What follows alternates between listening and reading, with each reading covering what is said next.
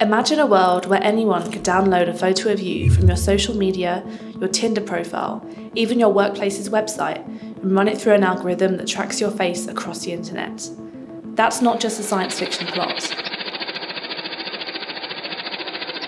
It's a reality. Facial recognition is entering a new chapter with private firms bringing their dystopian technology to the public for cheap. Clearview AI. The facial recognition software attempts to match people's faces with billions of images scraped off social media websites. This is really creepy. Clearview AI harvested billions of photographs from our social media accounts without our consent to use in its facial recognition database.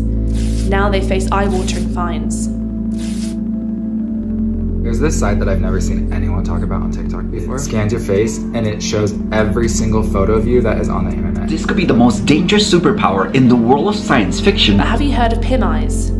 Like a copycat Clearview, PimEyes scrapes images of unsuspecting citizens from the internet. There are no checks on who can use their service, which allows users to stalk dozens of people each day and set face alerts for up to 500 different images. With just a couple of clicks, anybody could find and identify whoever they like, dissolving privacy and opening the door to totalitarian governments searching for political dissidents, abusive parents searching for children in care, dangerous individuals stalking victims. We believe PimEyes is unlawfully processing the biometric data of millions of UK citizens, so we've filed a legal complaint with the UK's data watchdog. Orwellian facial recognition technology is being used in our high streets, in our schools, by the police, and now to trawl through the internet looking for your face.